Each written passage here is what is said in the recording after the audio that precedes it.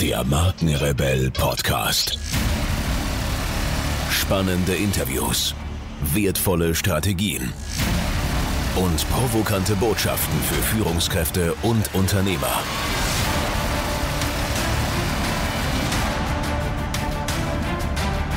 Stell dich den Herausforderungen der Digitalisierung und setze als Marke ein Zeichen. Von und mit Markenrebell Norman Glaser.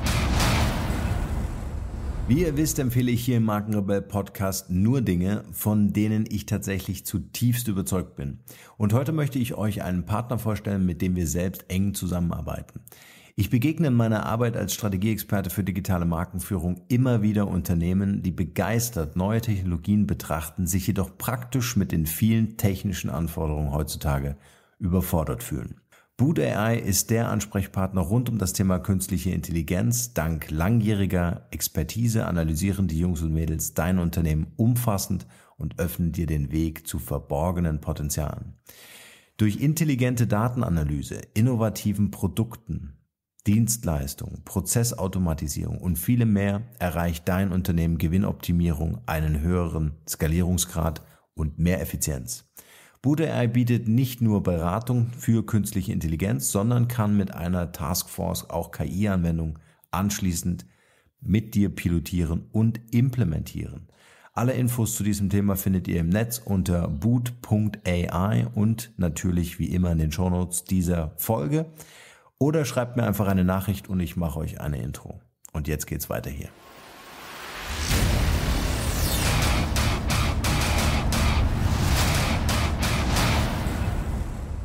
Welchen digitalen Reifegrad hat dein Unternehmen? Ja, ja, die Wissenschaft. Über den Sinn und Nutzen der Digitalisierung gibt es Expertisen wie Sand am Meer. Alles ist durchgerechnet und solche Programme haben auch einen großen Nutzen insofern, als sie sowohl dem unbedarftesten Laien als auch dem kritischsten Experten den Sinn beweisend unter die Nase reiben. So wäre es doch interessant, einmal zu hinterfragen, ob und wie Firmen, die eigentlich dem Low-Tech-Bereich angehören, digitalisiert werden können, ob sich das überhaupt lohnt und welche Rationalisierungseffekte sich daraus ergäben. Um dies herauszubekommen, bedient man sich, was sonst, digital berechnete Algorithmen, die auf sogenannten QCA-Vergleichsanalysen beruhen. Liest sich kompliziert, ist aber eigentlich logisch.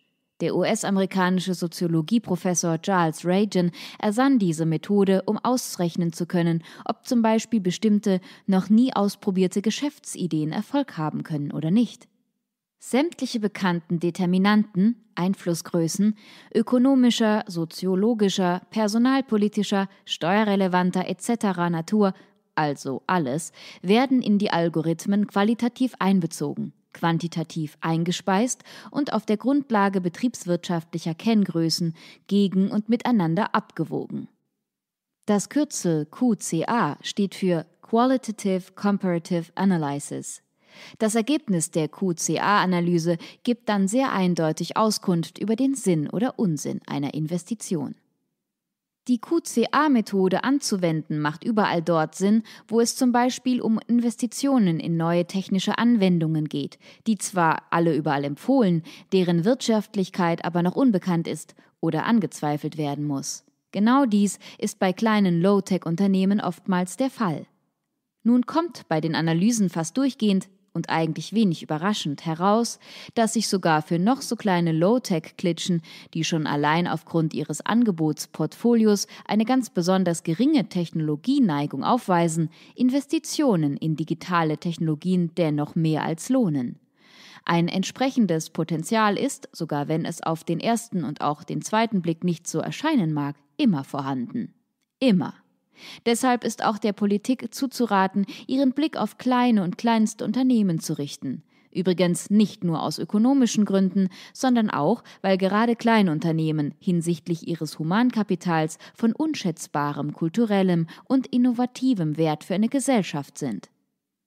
Die Organisation für wirtschaftliche Zusammenarbeit und Entwicklung OECD klassifiziert Unternehmen anhand einer auf technologischen Standards basierenden Skala in hoch, mittelhoch, mittel und niedrig technisiert. Hinzu kommen die Forschungs- und Entwicklungsintensitäten, die die erfassten Firmen aufweisen. Wir nennen es den digitalen Reifegrad. Klassische Low-Tech-Firmen sind kleine Unternehmen, die typischerweise der Lebensmittel-, Getränke-, Textil-, Papier-, Druck- und Schuhbranche angehören. Sie weisen traditionell nur sehr geringe Forschungs- und Entwicklungsneigungen und, wenn überhaupt, sehr kleine Forschungs- und Entwicklungsbudgets auf, in Prozenten gerechnet weniger als ein Prozent. Im Vergleich dazu buttern Hochtechnologiefirmen durchschnittlich sieben Prozent ihrer Umsätze in technische Investitionen. Nichtsdestotrotz können natürlich auch Niedrigtechnologiefirmen technisch, also digital, aufgerüstet und so erheblich wirtschaftlicher und effizienter werden. Dass solche Unternehmen bis jetzt kaum auf dem Radar der Politik erschienen bzw. von dieser vernachlässigt worden sind, mag darauf zurückzuführen sein, dass Low-Tech syllogistisch mit Low Innovation gleichgesetzt wird. Ein fataler Irrtum. Und ein Trauerspiel. Zwar sind die Low-Tech-Firmen per Definition weniger geneigt, sich in Sachen Forschung und Entwicklung zu engagieren. Ein Schuhladen ist, vollkommen normal, in Sachen Hightech weniger innovativ als Siemens, Apple oder Google. Allerdings ist es so gut wie immer möglich und richtig, entweder das Angebot oder die Fertigungs- und Vertriebsabläufe digital auf Vordermann zu bringen oder beides. Wenn man bedenkt, dass die sogenannten Low-Tech-Branchen für den kulturellen Bestand und die gesunde Entwicklung von Volkswirtschaften und Gesellschaften eine tragende, unverzichtbare Rolle spielen, dann ist ihre technologische Ertüchtigung sogar ein moralischer Imperativ. Umso merkwürdiger ist es, dass der Erforschung dieser Zusammenhänge so wenig Aufmerksamkeit geschenkt wird. Nun sagst du dir vielleicht, zu Recht, hm, was soll das Geschwalle? Hätte ich alles auch ohne aufwendige QCA-Analyse gewusst. Das freut uns natürlich zu hören, denn dann gehörst du zu jenen Dynamikern, die mit den Chancen und Potenzialen der digitalen Welt vertraut sind. Das sind aber eben nicht alle. Und um diejenigen, die auf der Strecke zu bleiben drohen, muss sich gekümmert werden, denn sonst gehen in Zukunft ganze Branchen und Kulturen flöten. Nehmen wir doch mal eine Branche, die wie nur wenige für Echtheit und Direktheit steht. Eine Branche mit einer Jahrhunderte, vielleicht sogar Jahrtausende langen Tradition. Die Branche der fliegenden Händler. Lang, lang ist es her, dass irgendwann am Nachmittag ein erschöpft wirkender Fremder an unserer Haustüre klingelte und Einlass begehrte, um uns das vermeintlich neueste Teppichbodensortiment aufzuschwätzen. Oder der gegilte Herr mit dicker Brille, der uns mit den neuesten Errungenschaften der Vorwerkstaubsaugertechnologie zu beglücken gedachte. Den meisten der Jüngeren dürften Vorfälle dieser Art gänzlich unbekannt sein, die fliegenden Händler sind nämlich verschwunden. Sie mussten sich entweder in anderen Berufen und Branchen verdingen oder wurden arbeitslos.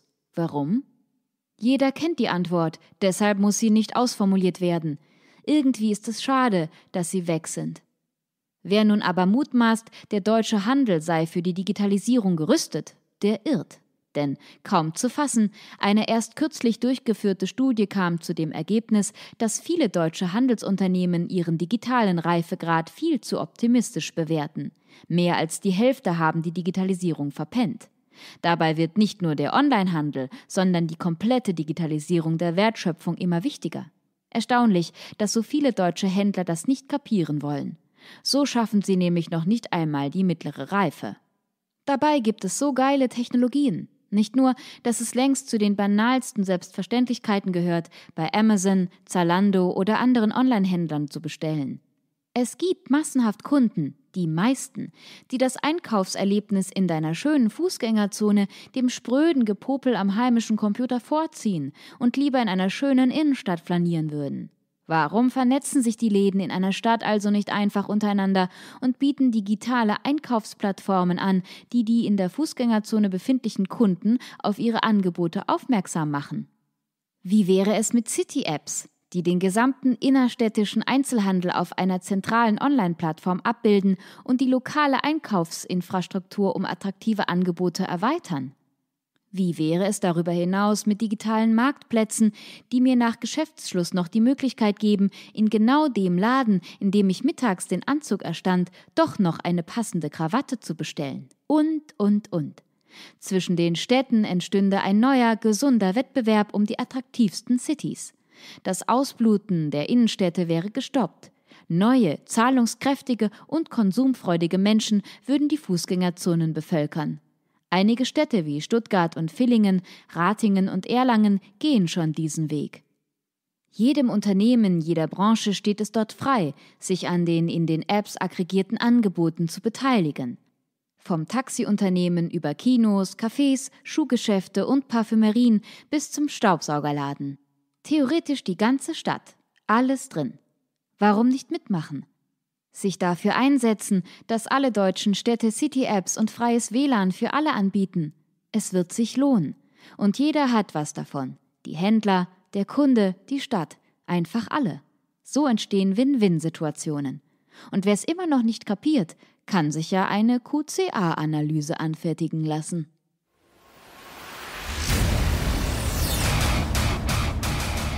Hier noch eine wichtige Info für alle die unter euch, die sich mit dem normalen E-Mail-Newsletter nicht zufrieden geben können, die noch ein paar Deep Dives vertragen können und zusätzlich eine wertvolle Content-Lieferung auf Ihr Smartphone für clever halten.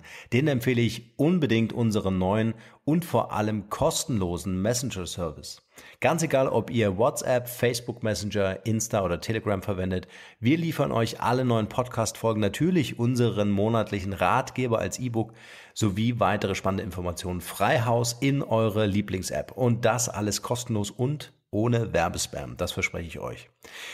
Geht dafür einfach auf unsere Website www.markenrebell.de und klickt im Menü oben auf den Punkt Service. Probiert es einfach mal aus. Es ist kinderleicht und seid gespannt, was hier in den kommenden Wochen so alles abgeht. Wenn euch dieser Podcast gefallen hat, wären wir euch sehr verbunden, wenn ihr euch kurz Zeit nehmen könntet und uns eine Bewertung bei iTunes da lasst. Das dauert nur wenige Sekunden und ihr helft damit, dass auch andere diese Informationen erreichen und wir diesen Podcast für euch noch viel, viel besser machen können.